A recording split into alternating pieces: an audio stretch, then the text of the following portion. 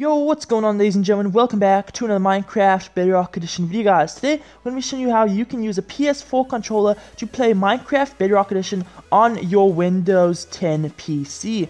So if you guys are interested in finding out how to use a PS4 controller, make sure you stay right here. Alright guys, before we get into the tutorial, be sure to leave a like, comment, and subscribe, and share this video with all your friends if this video does end up helping you. But anyways, with that, let's start with the tutorial. So firstly guys, we're going to discuss what you're going to need in order to play uh, Minecraft on your Windows 10 with a PS4 controller. So obviously, the white elephant in the roof, you will need a PS4 controller. Now, it doesn't matter which type of PS4 controller you have, whether you have a newer model an older model, it does not matter as long as you have a PS4 controller.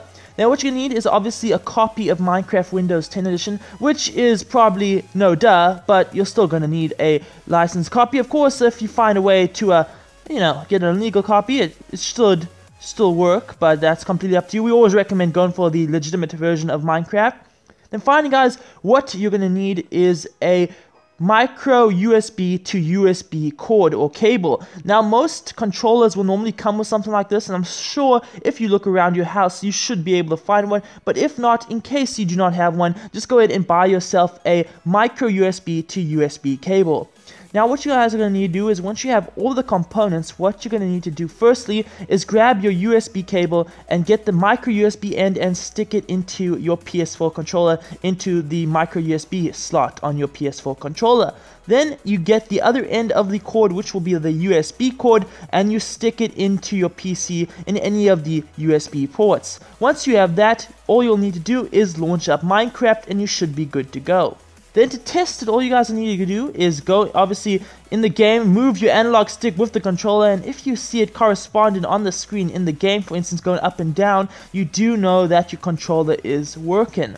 Now another little tip that we would like to give you guys is that when you use a controller for the first time on Windows 10 Edition with your PS4 controller, you're going to get these annoying things called uh, tool tips or controller tips which pop up on your screen to give you tips on how to play Minecraft with the controller. Now obviously if this is your first time using the controller to play Minecraft, this would be a great thing and we recommend not disabling it. However, if you're a veteran to the game, this may actually irritate you, so I'm going to show you how to disable it. So what you're going to do is go into the settings of your Minecraft game, go over here, and you will eventually see that there is a setting that says disable tooltip. Then what you're going to do is just disable that, and then you will no longer get those irritating uh, tooltips that, you know, no one really wants. Of course, if you have any problems, comment down below and we'll try our best to help you out. So once again, just to go through it all, you will need a PS4 controller of any model, a USB to micro USB cord, and of course a version of Minecraft Windows 10 Edition for your PC. With all that, you will be able to use a PS4 controller on Minecraft Windows 10 Edition for your PC. Anyway guys, that is going to wrap up today's video. If this video did help you out, once again, be sure to be leave a like, comment, and subscribe, and share this with